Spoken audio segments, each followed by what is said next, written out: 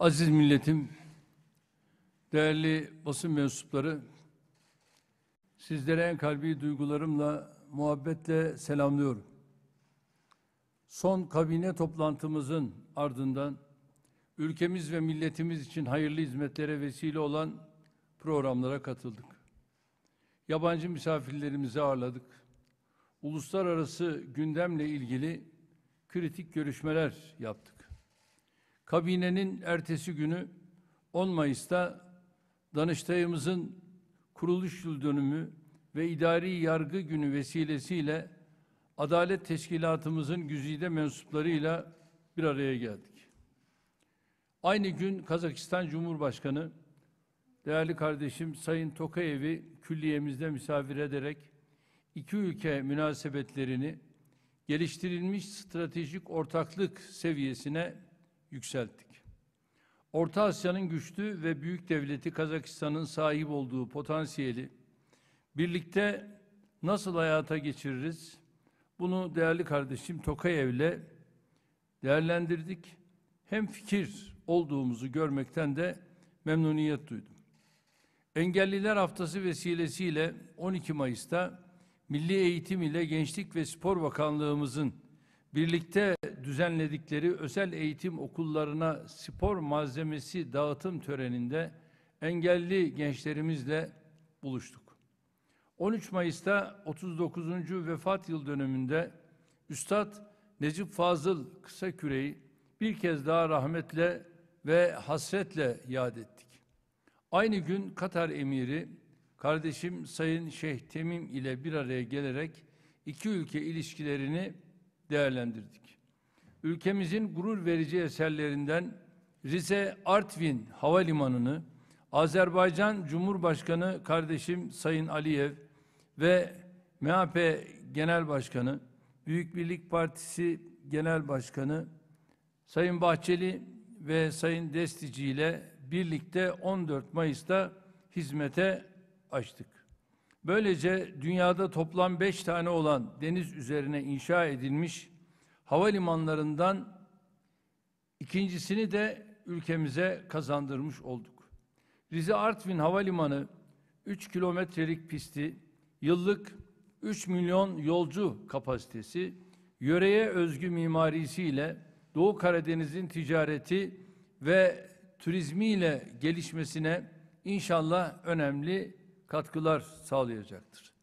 Bir kez daha bu güzel havalimanının Rizeli ve Artvinli hemşehrilerin başta olmak üzere Karadeniz'e ve ülkemize hayırlı olmasını diliyorum.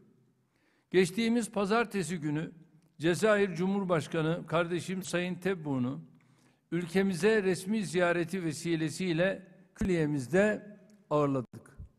Sayın Tebboun'la iki ülke ilişkilerini Cezayir halkının kalbimizdeki müstesna yerine uygun bir seviyeye taşıma konusunda mutabık kaldık. Salı günü Birleşik Arap Emirlikleri eski devlet başkanı Sayın Şeyh Halife bin Zayed El Nahyan'ın vefatı sebebiyle bu ülkeye bir taziye ziyaretinde bulunmak üzere gittik. Kardeşi ve Abu Dhabi emiri Sayın Şeyh Muhammed bin Zayed'e başsağlığı ziyaretini gerçekleştirdik. Ziyaretimiz vesilesiyle hem taziyelerimizi ilettik hem de devlet başkanlığı görevine seçilen Şeyh Muhammed bin Zayed'e hayırlı olsun dedik. Milli mücadelenin işaret fişeği olarak gördüğümüz 19 Mayıs'ta gençlerimizle ve başarılarıyla bizleri gururlandıran milli sporcularımızla Ankara'da coşkulu bir programla kucaklaştık. Geçtiğimiz cuma günü önce 127 yıllık Çınar Darül Acezemizin sosyal hizmet şehrinin temel atma törenine katıldık. Ardından da Kolombiya Cumhurbaşkanı Sayın Marquez'le ailece bir araya geldik. Cumartesi günü Adana'da stadın dışında ayrı on binlerle, içinde ayrı on binlerle kalplerimizi buluşturduğumuz partimiz tarafından tertiplenen muhteşem bir gençlik şölenine iştirak ettik.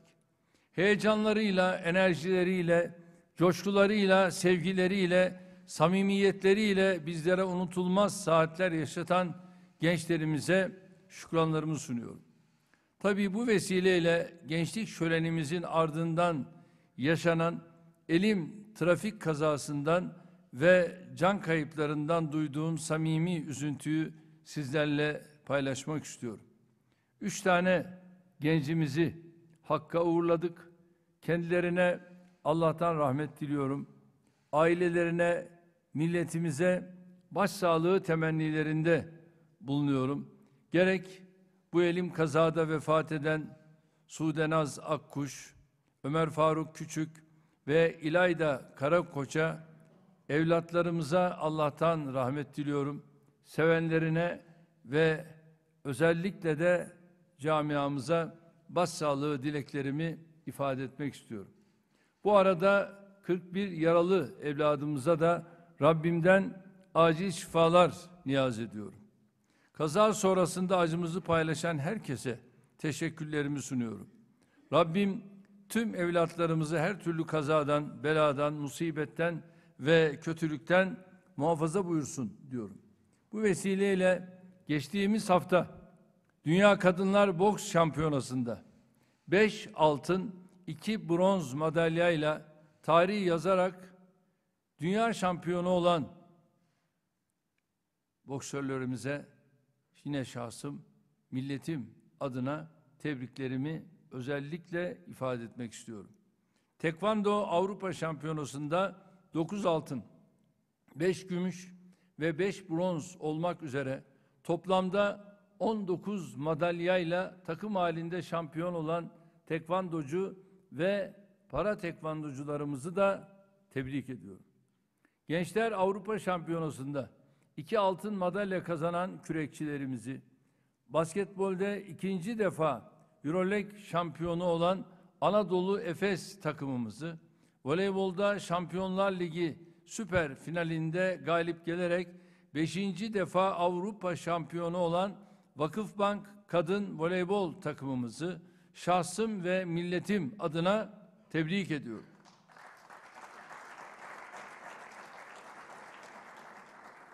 Türkiye'ye bu gururları yaşatan sporcularımızın her birinin alınlarından öpüyorum. Ülkemize 20 yıldır kazandırdığımız altyapı tesislerinin ve kurduğumuz sporcu yetiştirme sisteminin meyveleri olarak gördüğümüz bu başarıların artarak devam edeceğine inanıyorum. Ayrıca bugün sayıları 550 bini bulan yoklama kaçağı bakaya gençlerimize de bir müjde vermek istiyorum. Yoklama kaçağı gençlerimize bedelli askerlikten faydalanabilme yolunu açıyoruz. Kaçak yılına göre değişen oranlarda bir rakam ilavesiyle askerliğini bedelli yapmak isteyen gençlerimiz askerlik şubelerine başvurabilirler. Bakaya gençlerimizin sıkıntısına çözüm getiren bu uygulamanın hayırlı olmasını diliyorum. Diğer yandan kabine toplantımızda açık cezaevlerindeki hükümlüler için belli şartlarda uygulanan ve 31 Mayıs'ta süresi sona eren Covid-19 izinleriyle ilgili de yeni bir değerlendirme yaptık. Buna göre açık cezaevlerindeki hükümlülerin Covid-19 izinlerini 31 Temmuz 2023 tarihine kadar uzatıyoruz. Meclisimizin bu hususta gereken yasal düzenlemeyi en kısa sürede hayata geçireceğine inanıyorum. Aziz milletim, Cumhuriyetimizin 100. yılını sıradan bir tarih geçişi olmanın ötesinde kazanımlarımızın ve hedeflerimizin muhasebe vesilesi, vizyonlarımızın nirengi noktası görüyor, hazırlıklarımızı ona göre yapıyoruz. Coğrafyamızdaki hakimiyetimizin birinci yılına yaklaştığımız bir dönemde bu tür muhasebelere ve vides büyütmelere daha çok ihtiyacımız olduğu açıktır. Selçuklu'dan Osmanlı'ya, oradan Cumhuriyete miras kalan Anadolu'daki varlığımızı ilelebet kılmak için dünyanın ve bölgemizin değişen şartlarını iyi okumalı, kendimizi hep bu coğrafyanın üstünde konumlandırmalıyız. Aradan geçen bunca asra, yaşanan onca hadiseye rağmen bu toprakların hakimiyetimizde olmasını hala hazmedemeyenler olduğu gerçeğini biz değil, karşımızdakiler sürekli hatırlatıyor. Osmanlı'nın yıkılışı ve Cumhuriyet'in kuruluşu sürecinin her bir adımı, her bir gelişmesi bu hakikatin birer vezikasıdır. Bilhassa 18. yüzyıldan itibaren verdiği mücadelelerin yol açtığı tüm yorgunluğa, tüm yıpranmışlığa, ödediği onca bedele rağmen insanımızın milli mücadeleye dört elle sarılmasının gerisinde de aynı bilinç vardır. Başkomutanlığını Gazi Mustafa Kemal'in yaptığı milli mücadeleyi, şanlı tarihimizin bu topraklardaki son devleti cumhuriyetle taşlandırmamız, milletimiz için yeni bir başlangıç anlamına gelmektedir. Cumhuriyet dönemi boyunca da hem geçmişten gelen yüklerin ağırlığı hem yeni devletimizin kuruluş sancıları sebebiyle demokratik ve ekonomik gelişim adımlarımızı epeyce yavaş atabildik. Buna rağmen önce çok partili siyasi hayata geçerek ardından darbeler, siyasi istikrarsızlık ve terörle kesintiye uğrasa da kalkınma hamlelerimizi başlatarak kendimize yeni bir yol çizdik. Geçtiğimiz 20 yıl eser ve hizmet siyasetinde ülkemizin altın çağı olarak tarihteki yerini almıştır.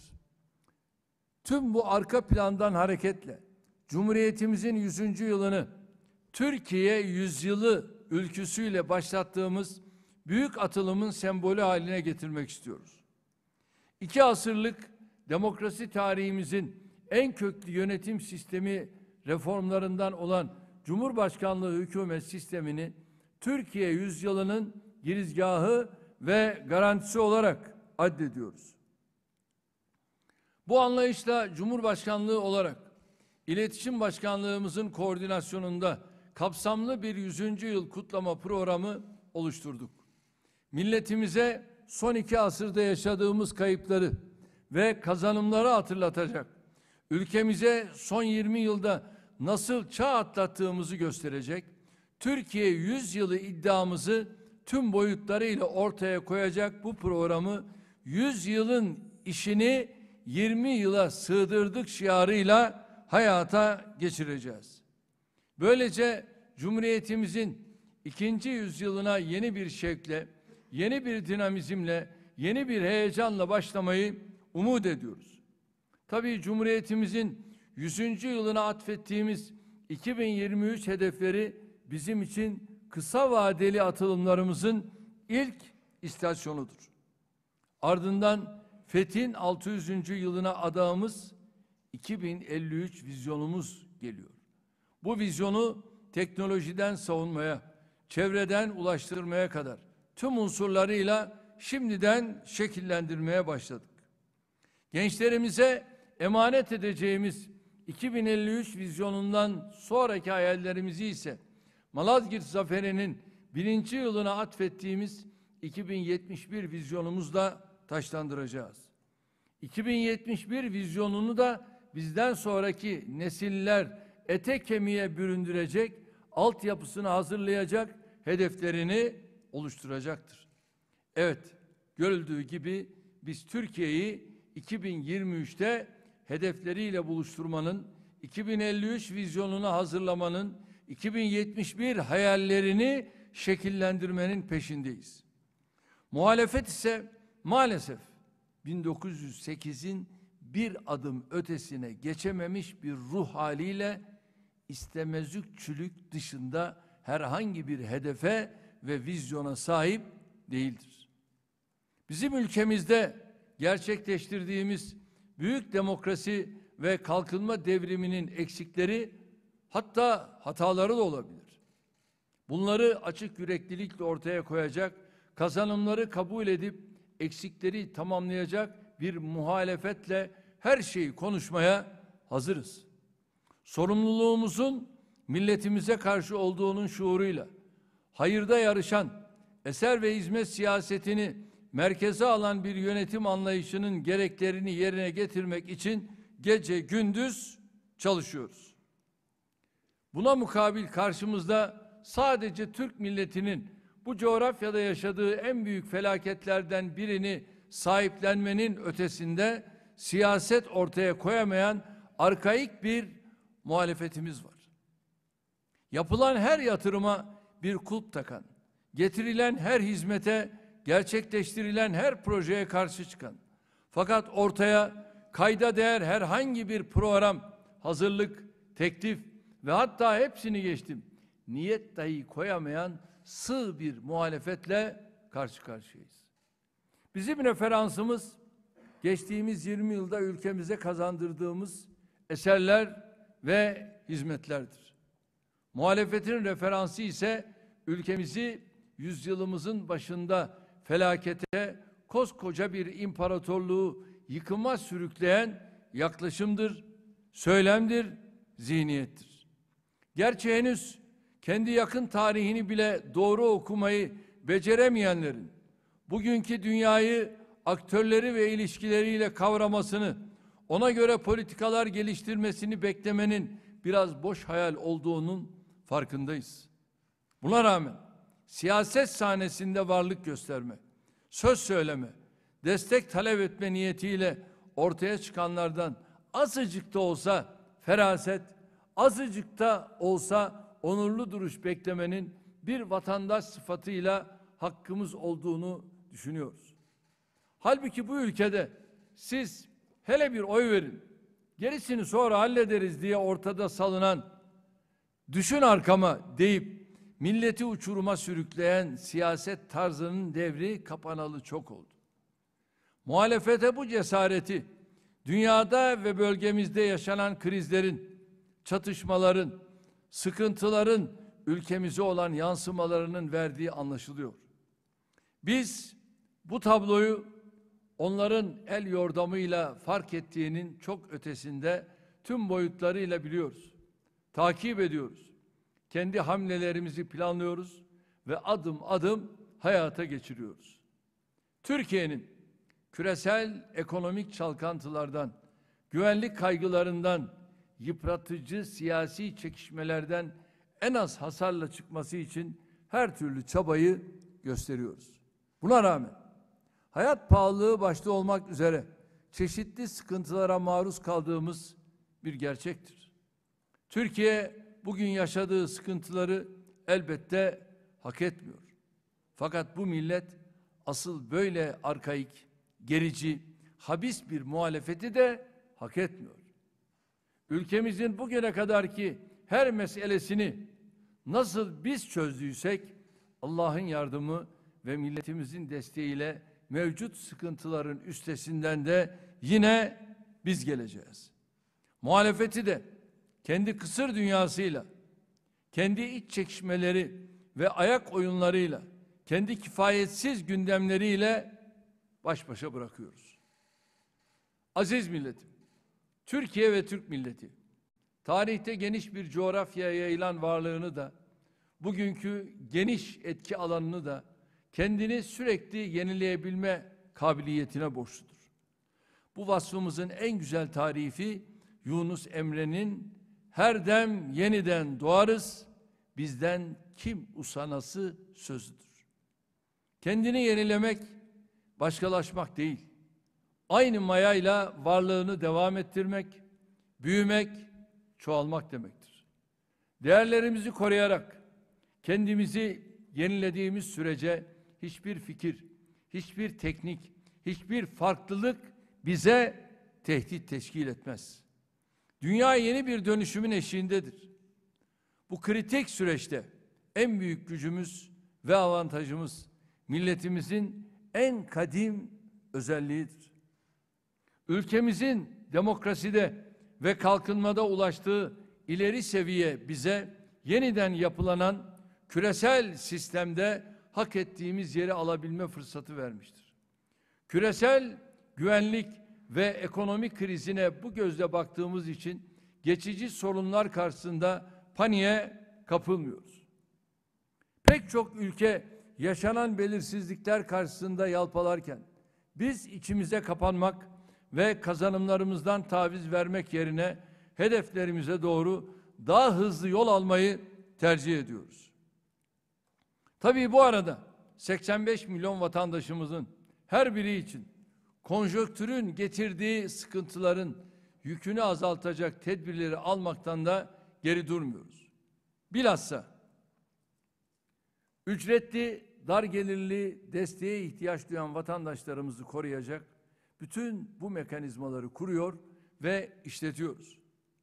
Asgari ücret artışı, memur ve emekli maaşlarına yapılan yüksek oranlı zamlar, sosyal yardım yelpazesinin genişletilmesi, destek ve sübvansiyon paketleri gibi uygulamalar bu yaklaşımımızın ifadesidir. Sağlıktan eğitime, ulaşımdan enerjiye, her alanda altyapı yatırımlarından ülkemizin ihtiyaçlarını önemli ölçüde karşıladığımız için bundan sonraki önceliğimiz insanımızın refah seviyesini artıracak politikalar olacaktır.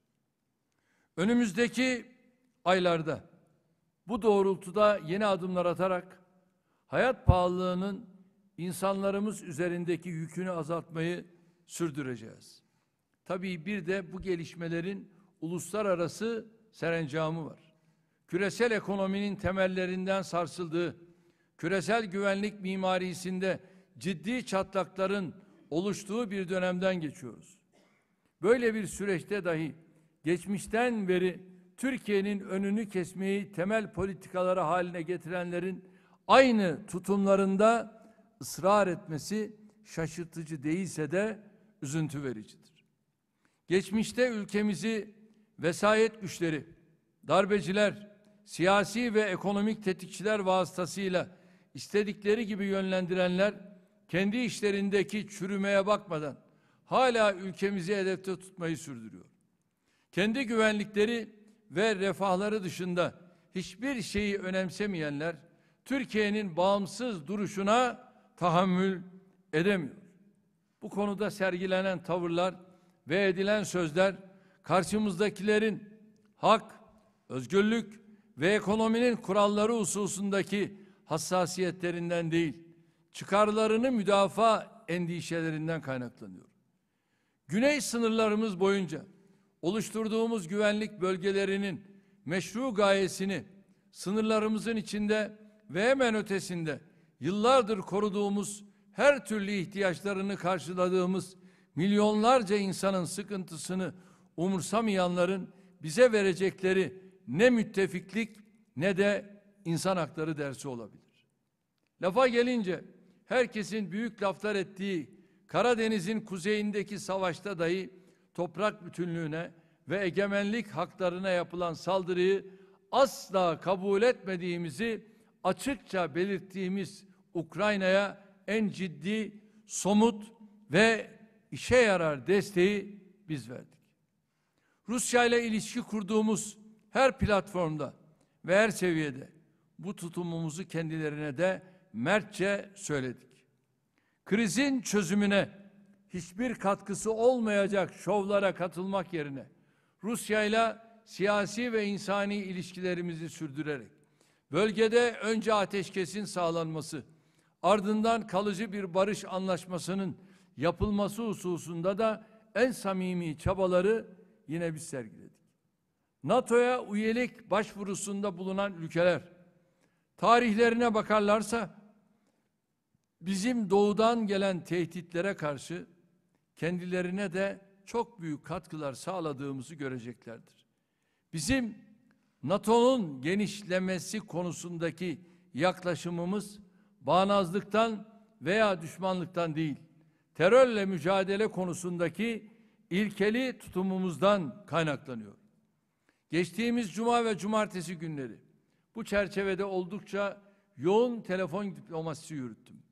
Hollanda Başbakanı Sayın Rutte ile, NATO Genel Sekreteri Sayın Stoltenberg'le, İngiltere Başbakanı Sayın Boris Johnson'la, İsveç Başbakanı Sayın Anderson'la, Finlandiya Başbakanı Sayın Niinisto'yla bu konuları enine boyuna konuştuk.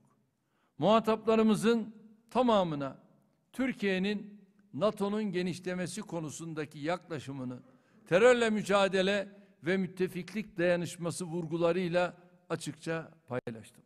Her şeyden önce terör örgütlerinin insanlığın güvenliği için ortada olan bir NATO'da yer almasını biz kabullenemeyiz dedik.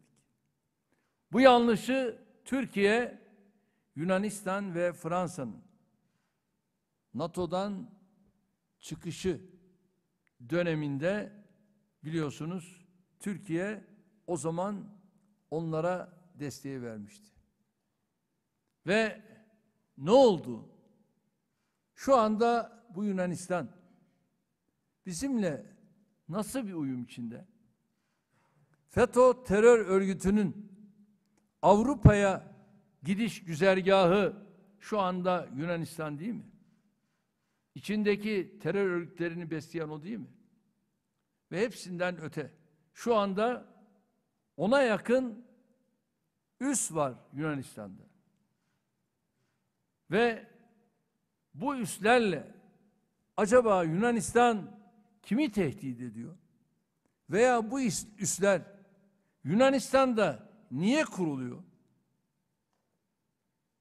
Şu anda Avrupa Birliği ülkelerine 400 milyar avro borcu olan bir Yunanistan var. Kendisiyle görüştük. Kendisiyle yaptığımız görüşmede aramıza üçüncü ülkeleri sokmayalım diye mutabık kaldık. Buna rağmen işte şurada geçen hafta bir Amerika seyahati oldu ve senatoda Türkiye'nin aleyhine ne gerekiyorsa bu konuşmaları yaptığı gibi F-16'ları sakın ha Türkiye'ye vermeyin demek suretiyle Amerika'ya bu şekilde adeta telkinlerde bulundu. E şimdi biz bu yıl stratejik konsey toplantısı yapacaktık. Artık benim için Miçotakis diye birisi yok. Kendisiyle böyle bir görüşmeyi de yapmayı asla kabul etmiyorum. Çünkü biz sözünde duracak şahsiyetli, onurlu siyasetçilerle yola gideriz.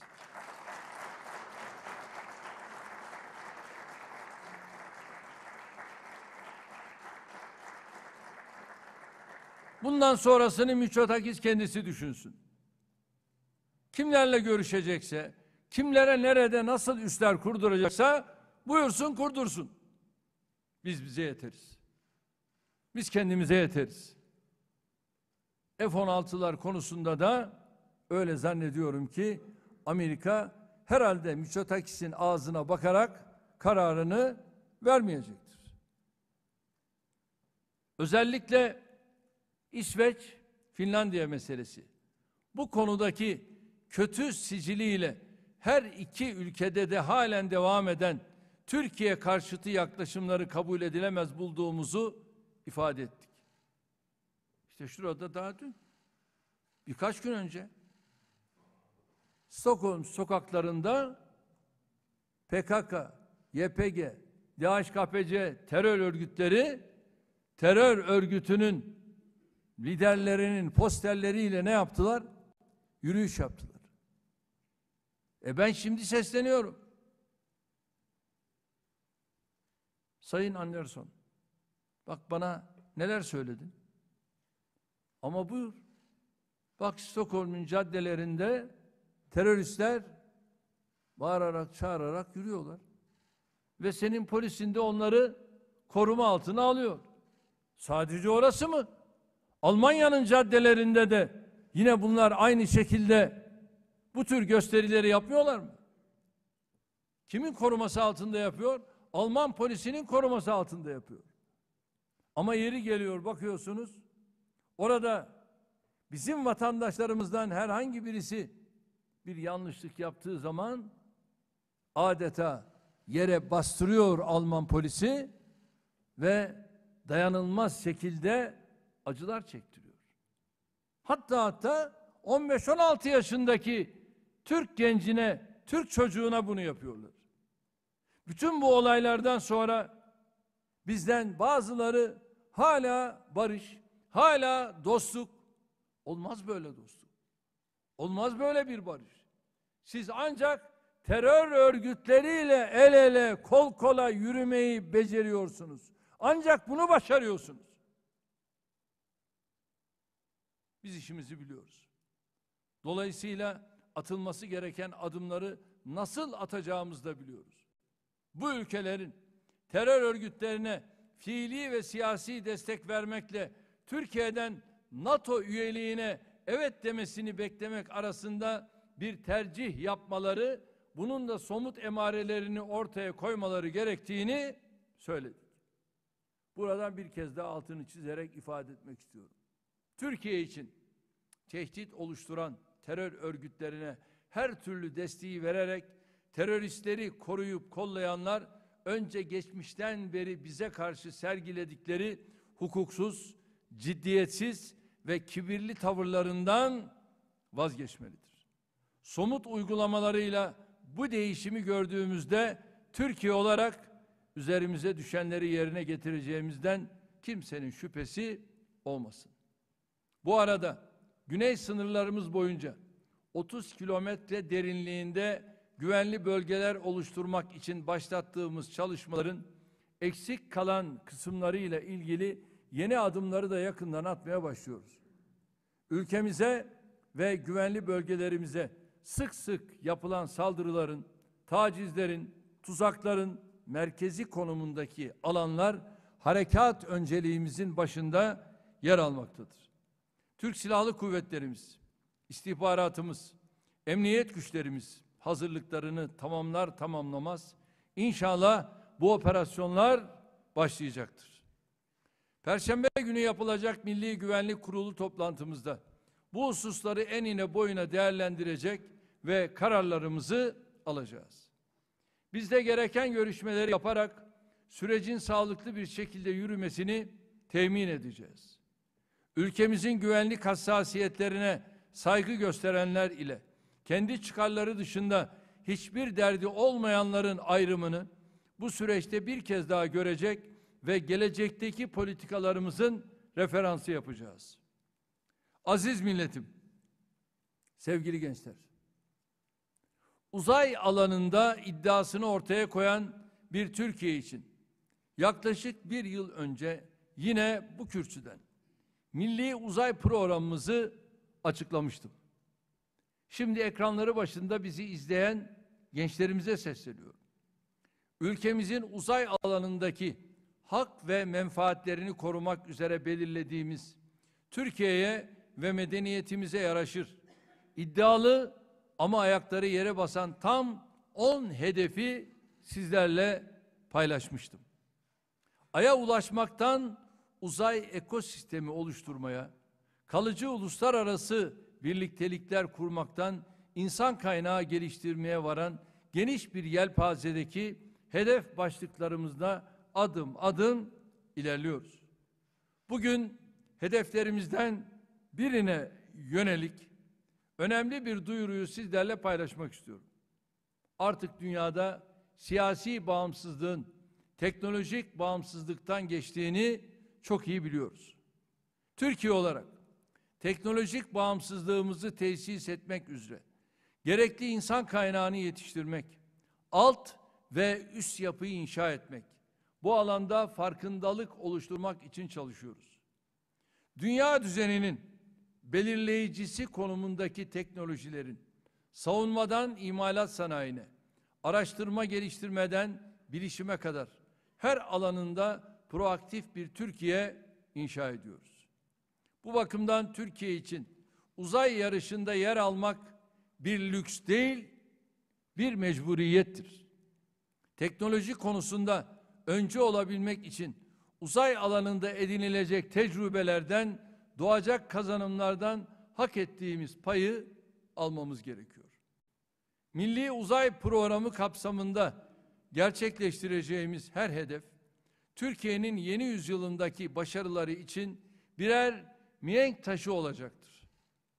Türkiye'de bir nesil ülkelerin uzay yarışını siyah beyaz telefonlar, televizyonlardan hatırlayın. izledik, izlediler. Milli teknoloji hamlesi vizyonuyla Türk gençleri uzay yarışının öncü aktörleri olsunlar istiyoruz. İşte bu yüzden bugün ülkemiz adına tarihi bir ana, yepyeni bir eşiğe hep birlikte adım atacağız. Eminim bu salondaki basın mensupları aracılığıyla, tüm bakan arkadaşlarım aracılığıyla birçok insan küçük yaşlarından itibaren uzaya gitme hayali kurmuştur. Hala kuranlar da vardır. Evet, artık o vakit geldi. Milli Uzay Programımız çerçevesinde bir Türk vatandaşının uluslararası uzay istasyonuna gönderilmesi sürecini resmen başlatıyoruz.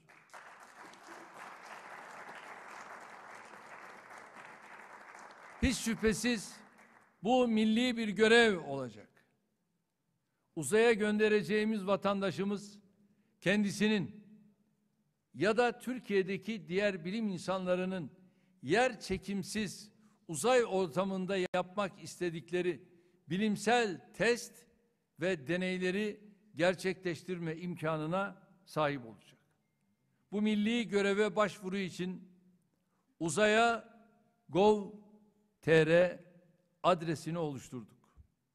Belirlenen o eğitim şartlarını sağlayan 45 yaşından genç tüm Türkiye Cumhuriyeti vatandaşları bu görev için başvurabilirler. 45 yaşından genç. Vedat Hoca senin durumu uymuyor. Başvurular arasından çekilecek ve seçilecek.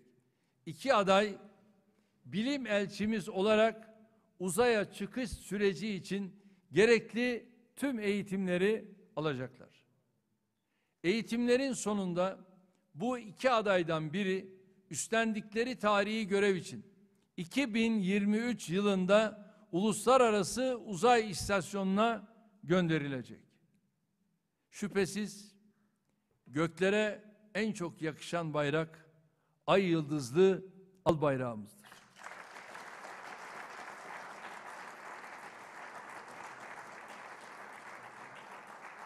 Bayrağımızı uzayda gururla taşıyacak olan arkadaşımız inanıyorum ki bilgisiyle, tecrübesiyle gelecek nesillere de rol modellik yapacaktır. İnşallah Türkiye'nin tecrübe ettiği diğer birçok ilk gibi bu tarihi adımın onurunu milletimize yaşatmak da yine hükümetimize nasip olacaktır. Gelecekteki milli kahramanımıza şimdiden başarılar temenni ediyorum. Bakın biz hala Neil Armstrong'u unutmadık. Niye? Çünkü o ilk gidendi. Şimdi de içimizden biri gidecek. İnşallah onu da bizden sonra gelen nesiller unutmayacaklar. Bu büyük adımın ülkemize, milletimize, özellikle de gençlerimize hayırlı olmasını diliyorum. Bu duygularla bir kez daha hepinizi sevgiyle, saygıyla selamlıyorum.